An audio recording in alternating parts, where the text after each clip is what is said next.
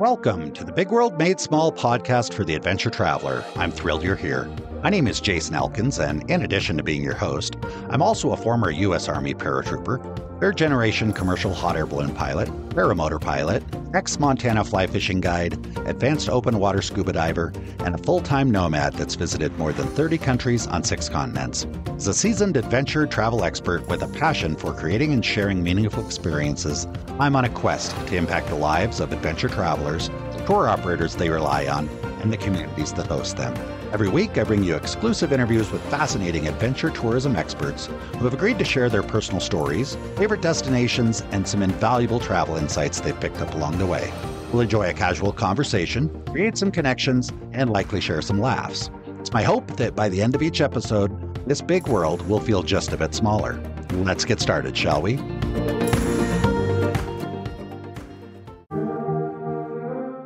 Are 20, you always believe you are stronger than the mountain. When you are 30, it's equal. And when you are 40, you know the mountain is always going to be stronger than you.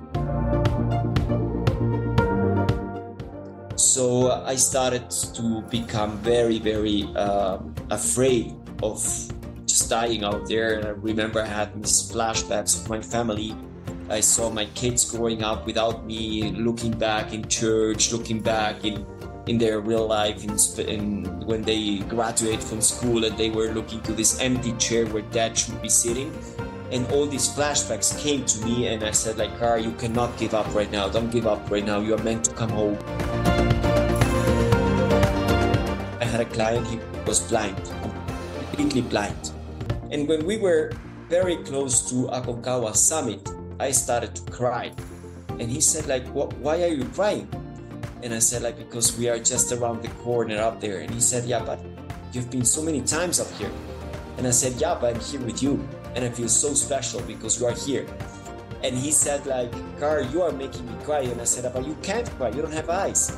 And then he said, like, Karl, describe me what you see. And I was trying to share him what I see. It's like beautiful. It goes down like three, 4,000 feet and I was describing everything and he was kind of spreading his hands and trying to feel it with his with his fingers and I came back to base camp and I said I regret Karl that you always said that you climb mountains because you want to see what's up there you have to say I climb mountains because I want to feel what it's out there it's completely different Welcome, everybody, to another episode of the Big World Made Small Adventure Travel Podcast. Happy to have each and every one of you back here today. Today we've got a real treat. We've got Karl Egloff from Cumbre, Tours, Ecuador with us today. Uh, Karl, welcome to the show. Happy to have you here. Thank you, Jason. It's a pleasure talking to you. Thank you for your time. It's an absolutely pleasure to talk about Ecuador, about uh, my athlete career, and and yeah, uh, discover beautiful things uh, surrounding the mountains and everything. Well, you're you're very passionate. I remember our first conversation. You were telling me some stuff that I just it wasn't even on my radar. I did not I mean, I, I know that people climb mountains. I did not realize that it was kind of a race to the top type of thing. And that's something you have really done quite a bit of and excited to share some of that, kind of some of your stories and really kind of, you know, what this whole career of yours has has done for your personal development, your just uh, kind of understanding the world, share it with, with with all of us. That would be super wonderful. So so so happy to have you here. And before we jump into jump i'm not sure jump into is the right word but before we get into all your feats of mountaineering really just want to connect with you as a person and share your story because I, I, find that everybody that does this type of stuff has some sort of interesting twist in the beginning or they just were born into it and it's in their blood. So i'd love to have you share with the listeners you know how did you get from where you were to where you are now? What did that journey look like well, thanks for asking. Um, well, I was born here in Ecuador. I, I have a Swiss father. He was always involved in mountaineering. He used to guide a lot. So he took me out to the mountains when I was very young. I don't even remember how old I was. I just have uh, uh seen so many pictures. Uh, he carried me on his back and taking me to the highlands and to the glacier. And sometimes I talked to my dad and said, Dad, it was a bit, uh, you know, like not not really not really like what you're expecting for a father, uh, a bit irresponsible taking me so young to the mountains. But Uh, of course, it changed my life. Um, I was kind of born to do this. Uh, he brought me out there very young, and I started joining him even in my school days every weekend. Uh, and my father used to guide a lot, so he always said to me, as soon as we have Saturday or Sunday, you're just coming with me. I have some people to guide, and you just can come and follow. And uh, this is why I, I, was introduced to the mountains very early.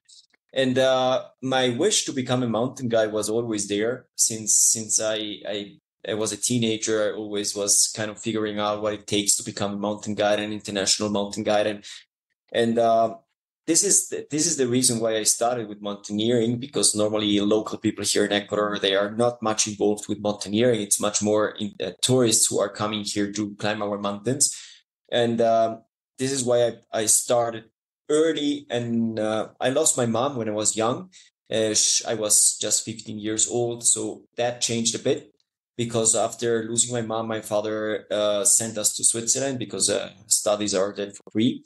And uh, we continued our our journey studying university and, and everything there in switzerland. So I was uh, missing a lot uh, my lifestyle in Ecuador. I was missing a lot guiding. I was missing a lot the nature and everything. Even if Switzerland has it all, eh, also, but I I was living in in in the big city. I didn't have the access to go to the mountains there. So I, I came back to Ecuador every single year while I was there, and I was always joining his expeditions and all. And uh, as soon as I came back to Ecuador uh, to make my living here, um, was I was 26 I started uh, my guiding career. I started um, all the courses to become an international mountain guide. And this is how I always was close and have been close to the mountains. Uh, and of course, later I discovered speed climbing and doing records and all that. But this is just one part of Karl. The other part of Karl was mountaineering as a lifestyle. And um, yeah, I just always try to be there and, and teach my kids the same lifestyle and going camping there and enjoying nature and admire the wildlife there and everything. That's a that's a very cool story. And first, I want to acknowledge losing your mom at a young age. I'm I can't even imagine what that would have been like. And then, I, I guess it's in my words, going off to Switzerland. So you you kind of that's a big transition, both with you know with losing your mom and then going to a new place, I can imagine would have been quite challenging. So, so it sounds like your father stayed and continued to run his guiding business, mountaineering business. You went off to Switzerland, spent some time there, and came back. Okay, I'm I'm curious. So early on, because I'm envisioning you like in a backpack, being hauled up the mountains by your father. What did your mom think about that early on? I'm I'm always always interested in how you know people that work in this business how that impacts their relationships. So i'm i'm trying to imagine your your relationship i guess your mom's relationship with your dad early on when she was taking you off into the mountains. How how did that go?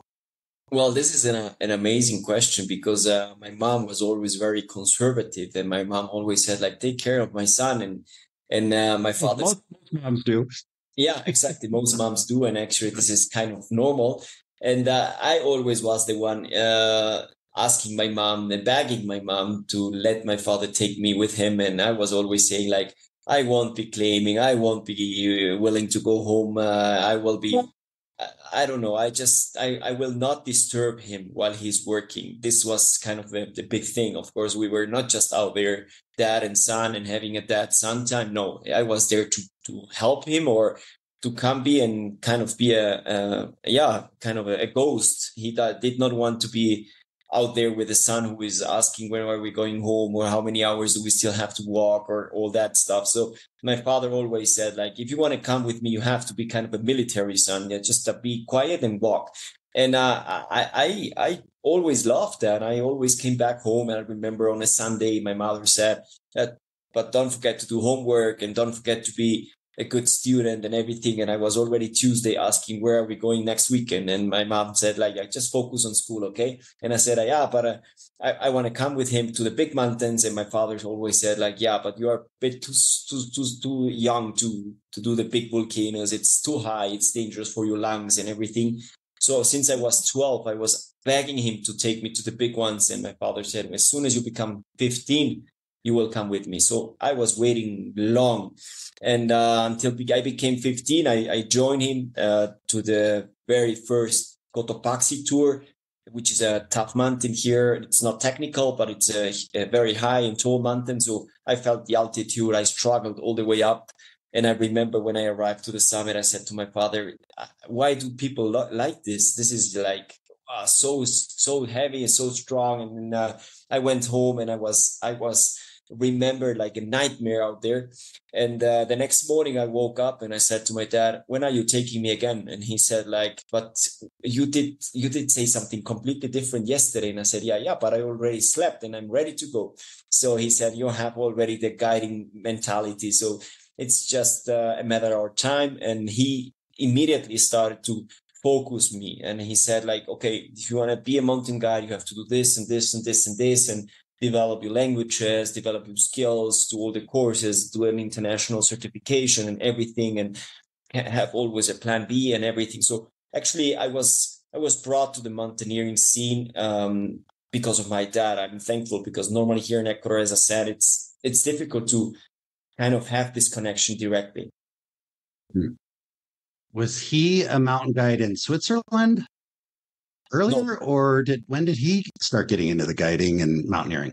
Well, he was never a guide. He was um, he was always uh, working with furniture. Um, he's a carpenter, and uh, he came to Ecuador very young. He was 18 years old when he came to Ecuador, and he felt immediately in love in Ecuador. Uh, he he actually met my mom in Switzerland because she she was Ecuadorian, but she went for studies in Switzerland. There there mm-hmm. that's the reason why they met, and they came here to Ecuador very young, both eighteen and twenty. And my father started a, a furniture company here, but he was always involved in mountaineering because, of course, uh, big companies from abroad were always looking for people who were talking their language. So my father was always very close to the Swiss embassy, to the German embassy, and this is how he was always recommended. And of course, he was a strong guy. He woke. He actually grew up in the in the Alps. He was very strong, but he never did kind of a, a certification as a mountain guide. Those days there were no not many uh, ways to become an international mountain guide or even a local mountain guide. You just were out there and you knew what you knew, but experience, of course, things changed. And today it's very hard to become an international mountain guide. This is why I when I start learning from him, uh, it was basics. And then at a certain point, he, he knew that I, I needed other people to teach me an other level of, of, of uh, knowledge. And this is why I, I started in the best uh, international school uh, as, as a mountain guide. So I, I'm able to guide ever, everywhere worldwide. But of course, the roots, of all that were because of my dad. That's a, that's a pretty cool story, and I, and I can relate to that. I remember, you know, it's I think you and I, you, you might be a little younger and definitely in a lot better shape than me. And um, you won't you won't have any problem beating me to the top of the moon. Let's put it that way. And when when I was growing up, my grandfather, when I look back at it now, I realize he was a guide. He'd take people hunting, and it was the same thing through through work connections. Everybody knew that he was a, a hunter and liked to go up in the mountains and he would get out of state people would come and go hunting with him. I'm not sure they even had guide licenses or any of the any of the requirements back then. So things, yeah, things have shifted a little bit. It's uh, now we've got technology and internet, and, and I can appreciate why some countries or municipalities might not want people putting themselves out there as guides without some some certifications and training. So I, I get that completely. I'm curious. So what I heard you say was I was always begging mom, mom, I want to go with dad. I want to go with dad. Dad, take me with you, take me with you. And I'm sure there were times when she just said no. and I'm envisioning because I I know me.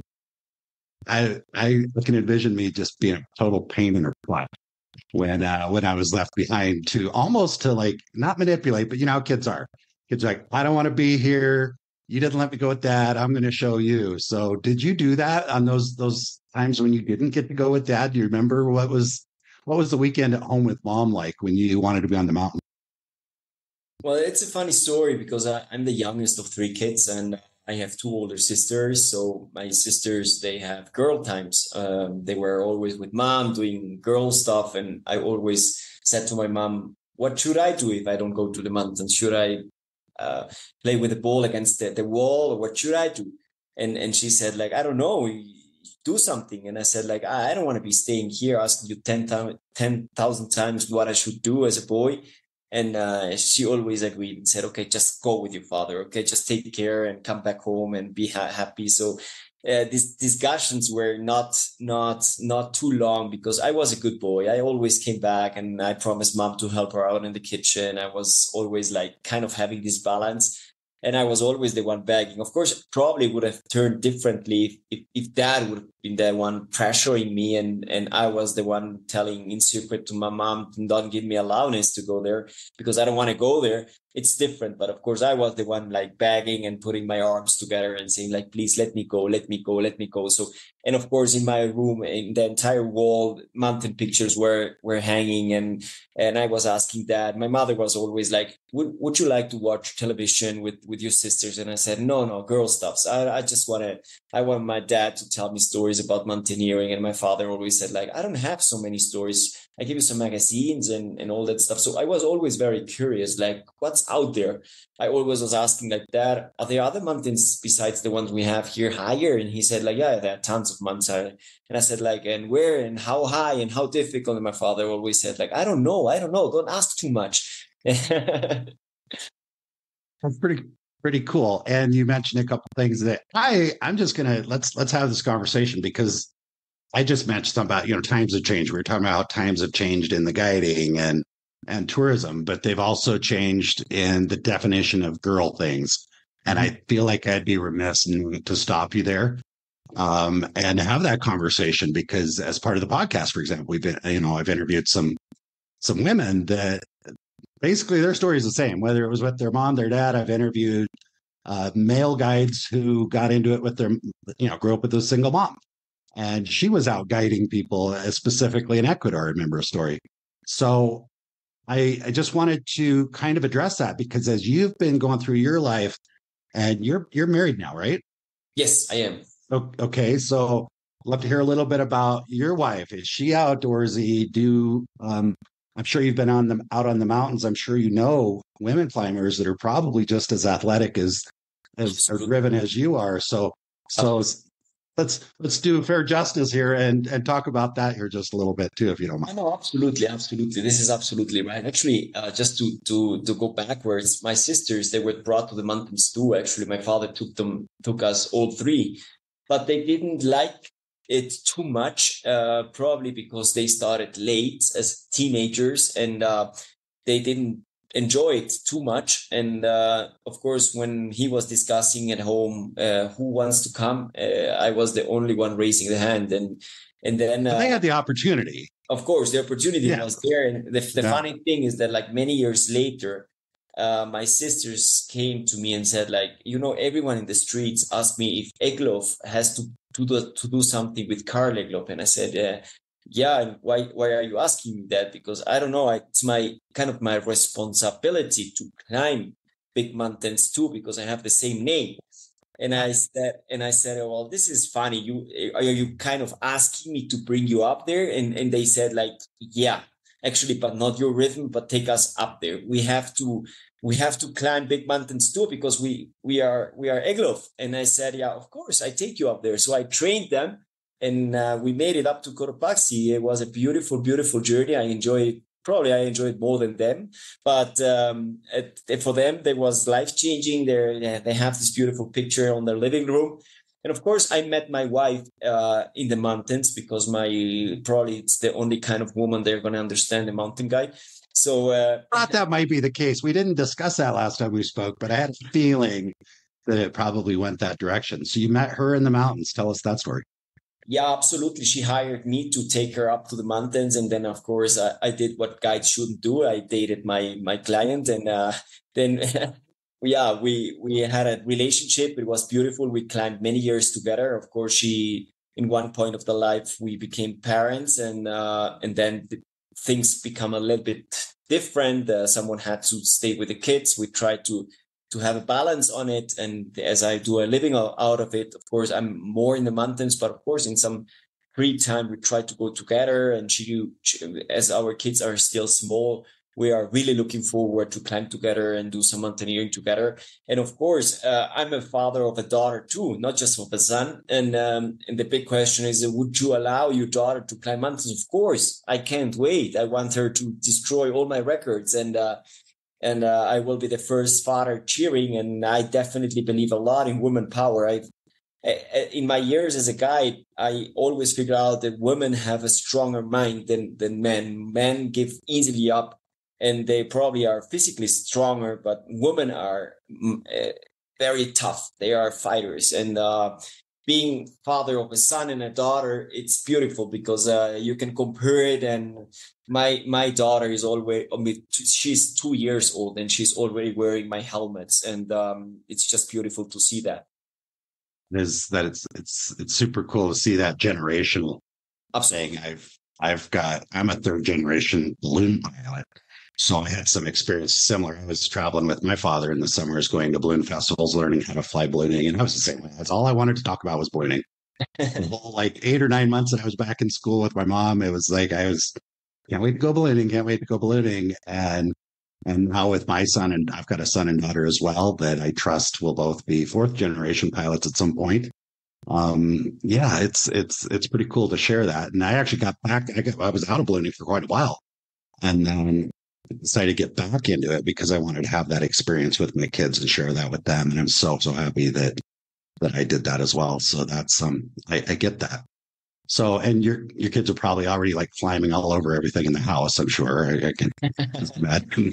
yeah, but when we when we have visitors, they always look at me like, "Are you allowing this?" Like she's uh, jumping on the sofa and making uh, making huge and risk things, risky things. But I know that she it's just on her blood, and I'm just so happy. And I'm the the first one congratulating her every time she she she does something spectacular on in, in home, climbing a wall or whatever.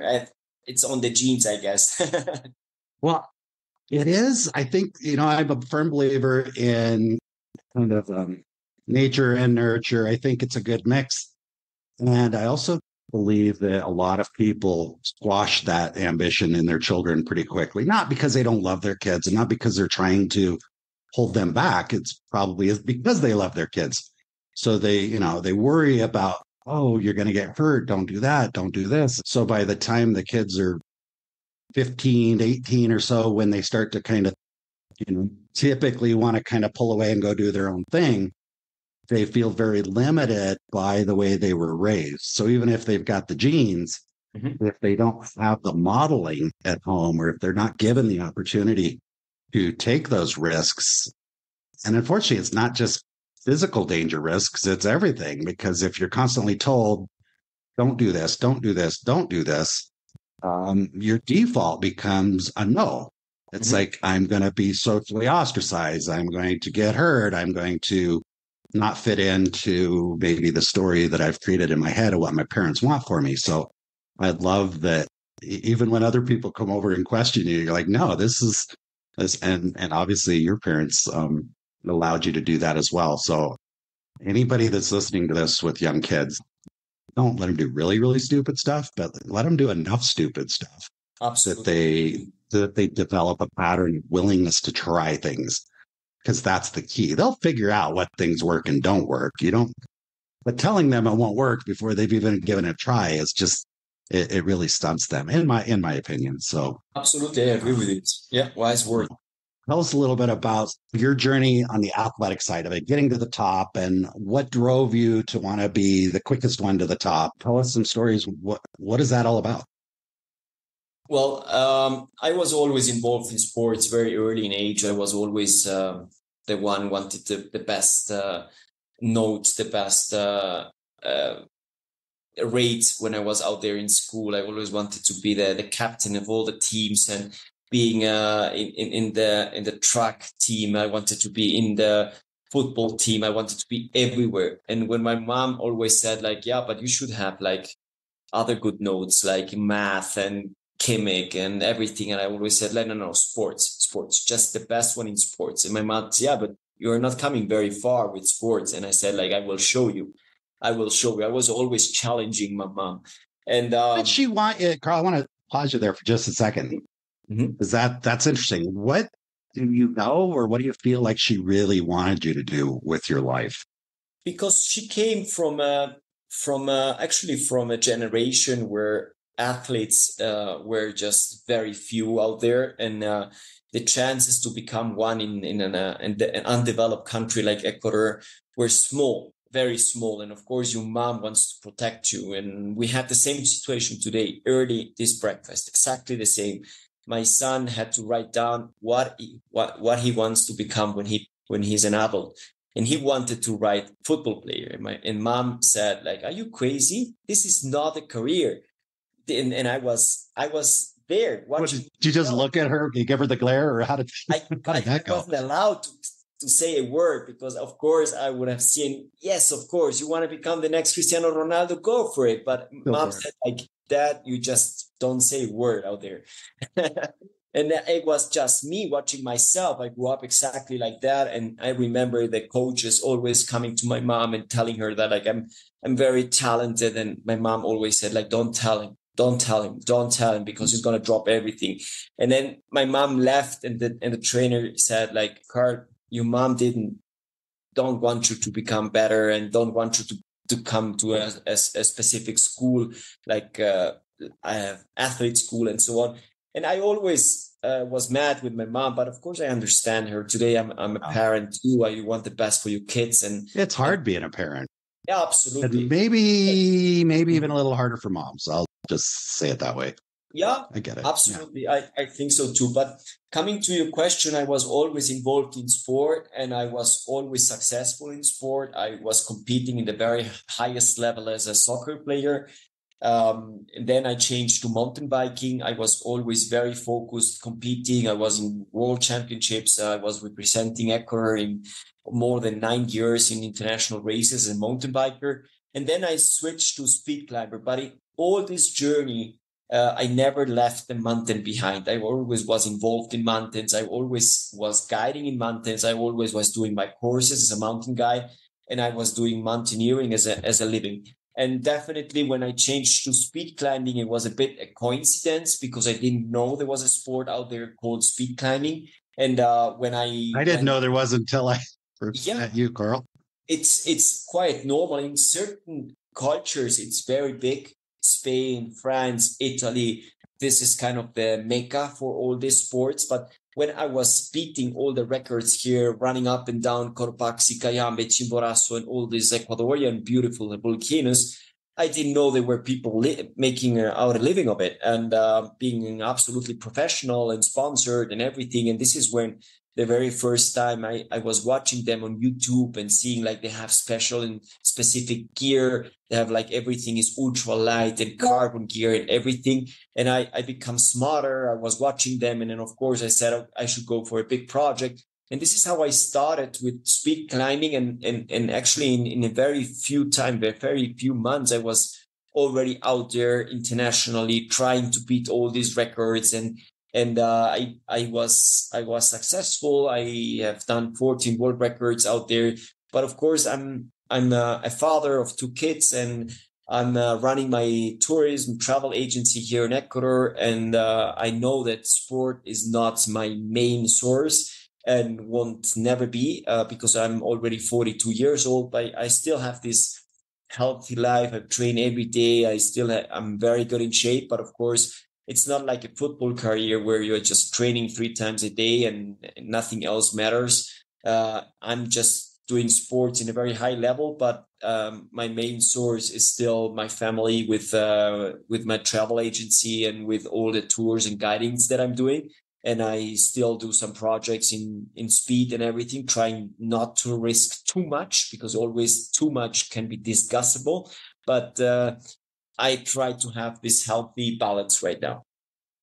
Do you, do you make it clear to your potential guide clients uh, that you've got this background in speed climbing? And do you feel that sometimes they're intimidated by that? Because yeah. I can imagine a scenario where i'm like okay i want to climb x mountain but I don't want to go with the guy that's going to go the fastest or that I'm not going to be able to keep up with or I'm going to feel embarrassed. Um, so how do you over I'm just curious, how do you overcome that with your clients? Does that come up very often or or are you the one that's like, come on, we gotta go? Well, this is a very precise and good uh, question, Jason, because it always happens when they don't know me. That means they have heard about my achievements and they don't know me as a human. As soon yeah. as I'm there, which is why we're which is why we're here, Karl. Exactly. So exactly. we can get to know you as a yeah. human. People believe that I'm just a robot out there or a machine out there, and as soon as I arrive, I'm going to pull them up to the summit to be back home to train. And that's not the way I. I never stop guiding because they they put my my feet uh, very very down to earth, and I love to guide. I I really enjoy it, even if if I climb Cotopaxi in an hour and 26 minutes, I can do it in 19 hours too. It's uh, it's it's beautiful and and I enjoy to be out there because I don't do it because of the money. I just do it because I love this lifestyle and I love the mountains and this is why I love uh, to work with also very very special cases. For example, I I guide every year amputees uh, that had struggled really a lot to walk and and and it's beautiful to to guide them, even if we have three times more than any other client out there.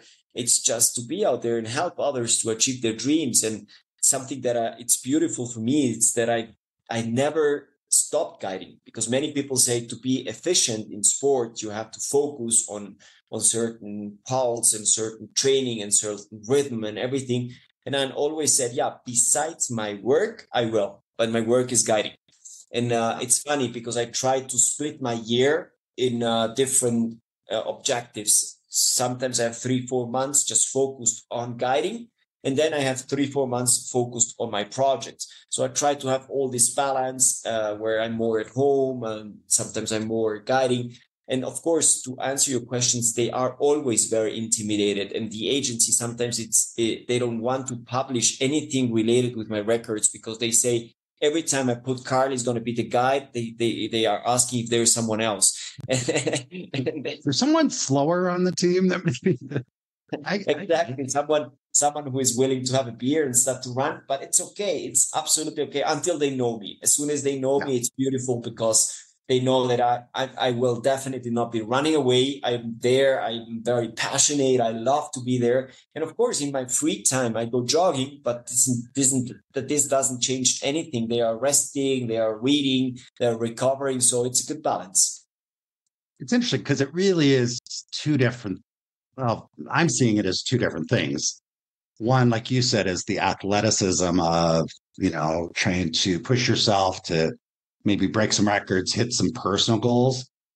And the other is guiding. Eh, that is, those are two totally different things in my mind, unless maybe you've got somebody who wants to also break some records and hires you to help them or coach you or train them. But that's not really guiding.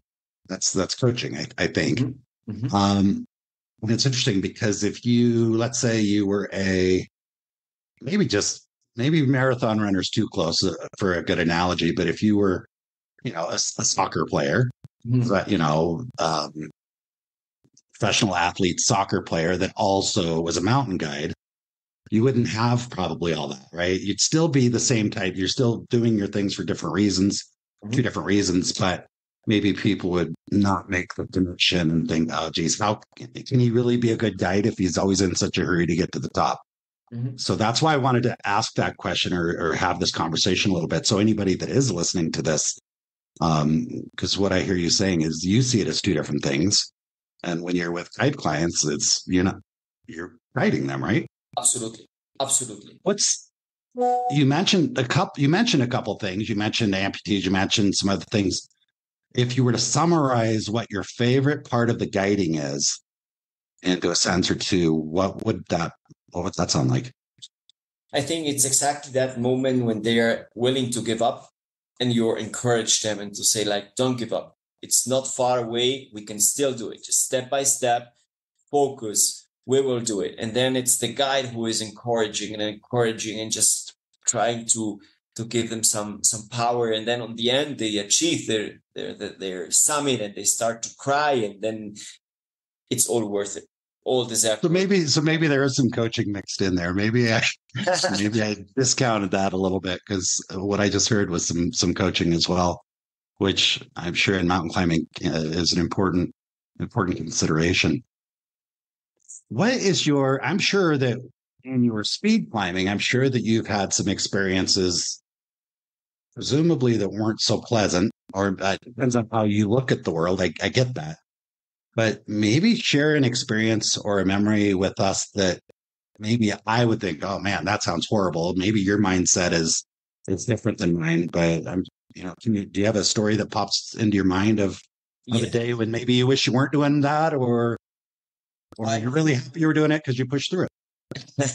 sometimes we we push too hard, and sometimes uh, the mind of an athlete is uh, hard as a stone, and sometimes um, it comes out that you are just a human and you can become very weak out there.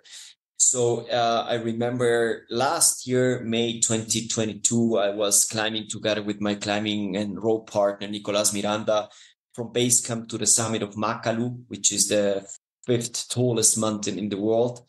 Um, we wanted to be the very, the very first humans to do uh, base camp, summit, base camp without sleeping in any camp just uh, one single push without the use of uh, artificial oxygen.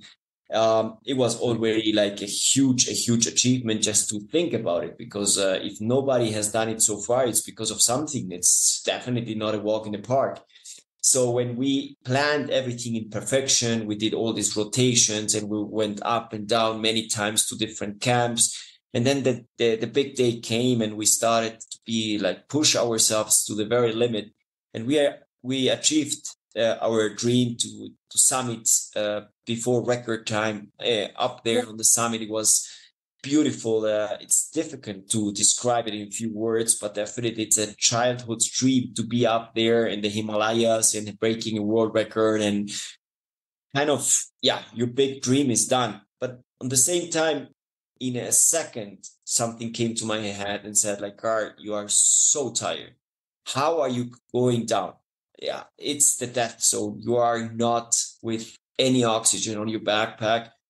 Uh, you are so tired. I was vomiting every 10 meters. Um, I was I was looking uh, out there and have hallucinations. People were out there that didn't exist. I was seeing ghosts and everything. And I said to myself, wow, I have to to descend to base camp in a mountain that I'm not even able to walk 10 feet.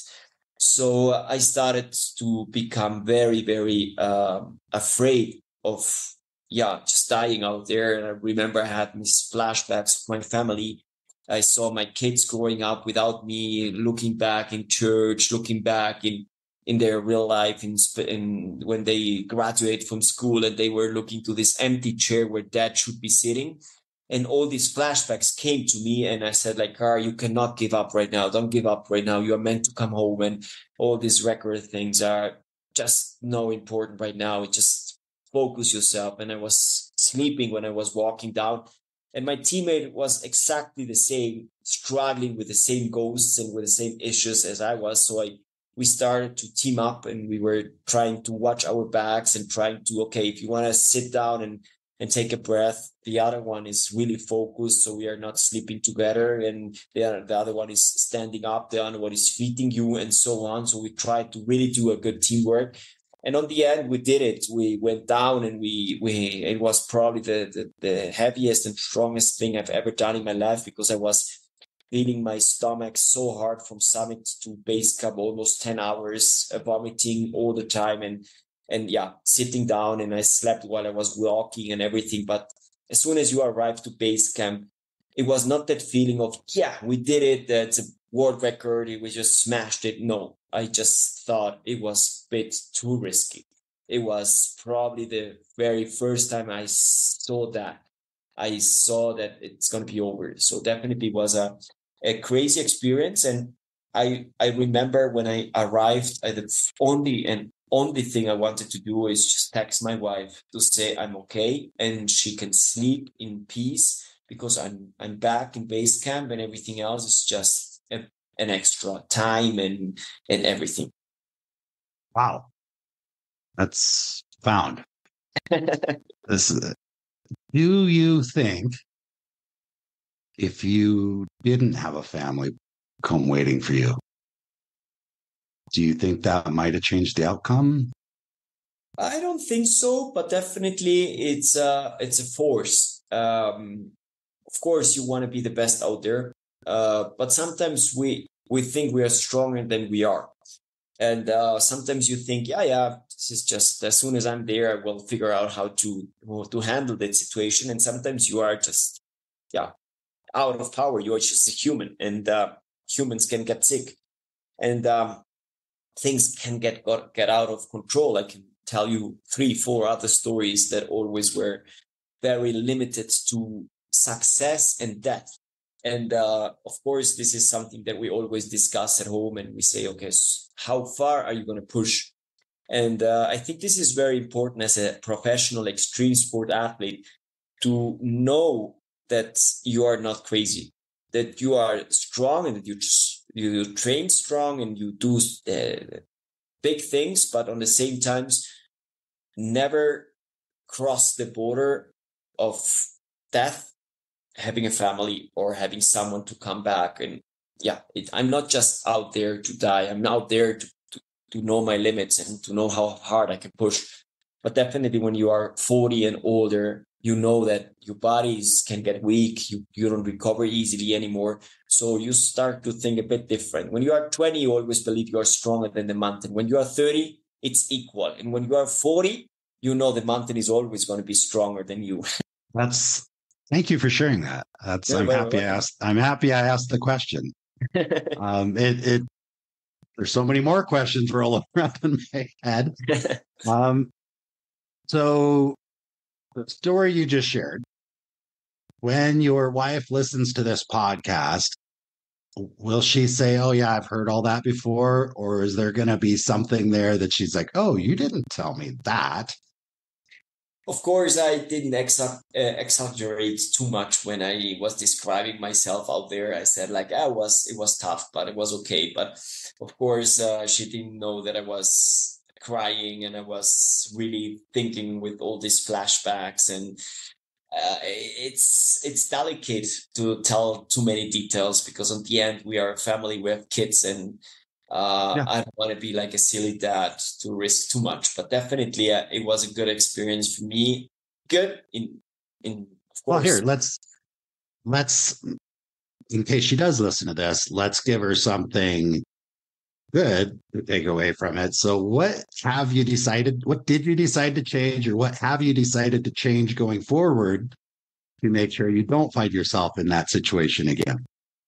Definitely team up with the right people.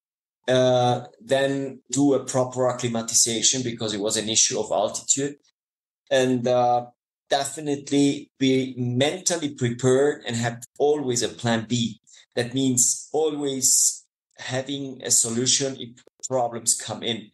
And uh, don't just get it, give it as granted that you're going to do everything perfect in plane A. That means you have always someone that could rescue or you have someone there watching you. Or there is a radio communication here and there.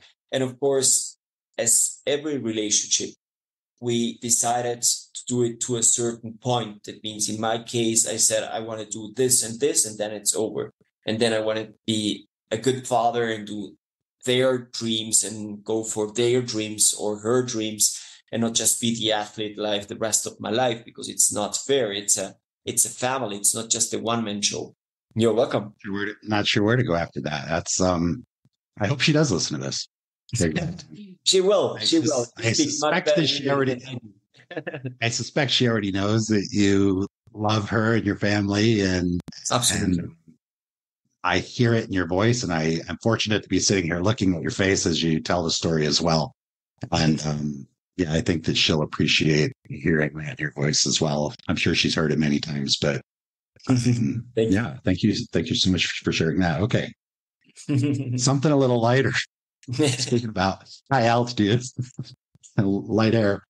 Um, Ella, you have a story with with clients, and hopefully one that that's not going to scare away your potential clients from uh, from going with you in the future. But I'm sure you have some some funny, interesting. You don't need to mention any names, but um, what's one of your most uh, memorable, uh, favorite experiences? Maybe you already alluded to it earlier with with clients. Well, I guess uh, clients I've been able to cli- to guide clients from all over the world, and sometimes it's it's it's uh, it comes the question like, how do you feel to climb the same mountain 500 times and still smile? And I said, Good question. The, the, the, the answer is easy. Every single human is different. Um, every single experience is different. Every single day out there is different. But I always, and I still cry every single time when I arrive to the summit.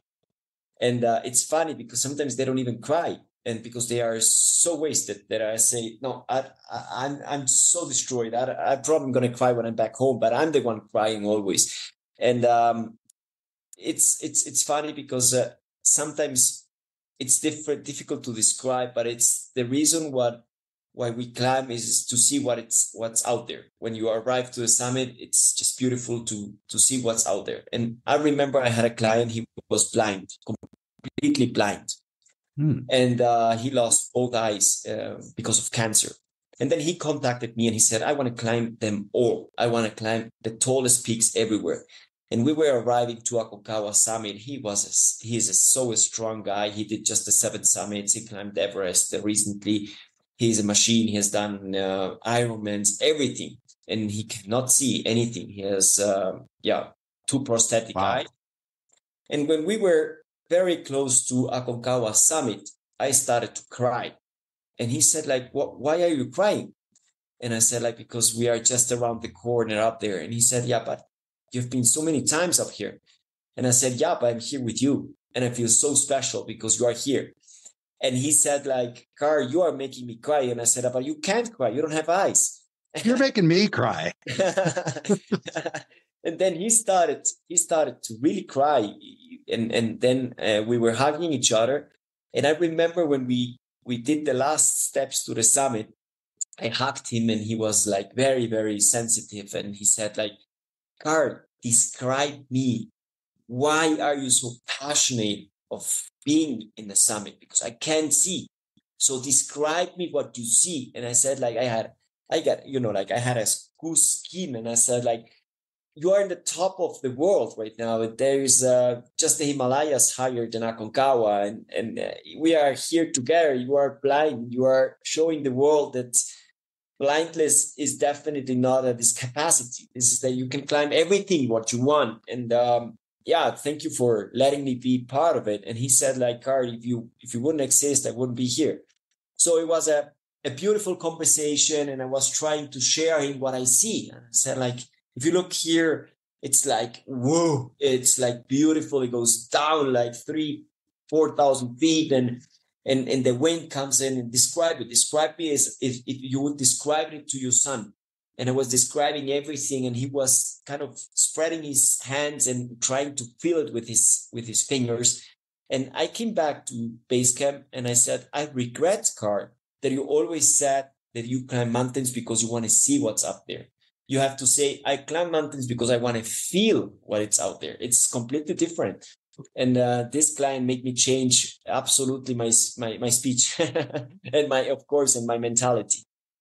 Man, that's um that's pretty cool. ah. I'm I'm thinking one thing I'm thinking is we should probably interview him on the show as well. Yeah, you have to. I want to hear like I want to hear his side of the story. Absolutely. And I'm sure it's just as impactful and I've long been a believer, and this is, this is kind of proof or at least validation of my story in my head is that, you know, adventure travel is not about the mountains or the islands or the, I reluctant to say beaches, but you know what I mean. It's not a, or the rivers. Um, I was a fly fishing guide. It wasn't about the fish. It wasn't about the river.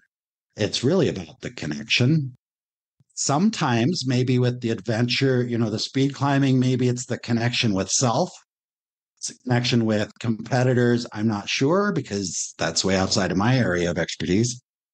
But with the guiding for sure. And I think every guide that listens to this program, every real guide that's like heart and soul guide is going to resonate with that story you just told. And they'll all be like, oh, wow, I, he just put into words how I feel mm-hmm. um, when I'm with my clients. Cause I remember, you know, I was a fishing guide and people were like, wow, you fish the same river every day, you know, the same drift boat, the same, generally the same river, Sometimes I see the same fish.